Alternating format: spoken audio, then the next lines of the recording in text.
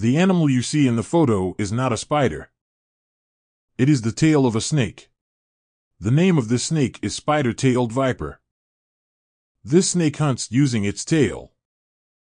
This snake is mostly found in the mountains of Iran. Their tail looks like a spider. Then when the hunter comes to hunt the snake attacks.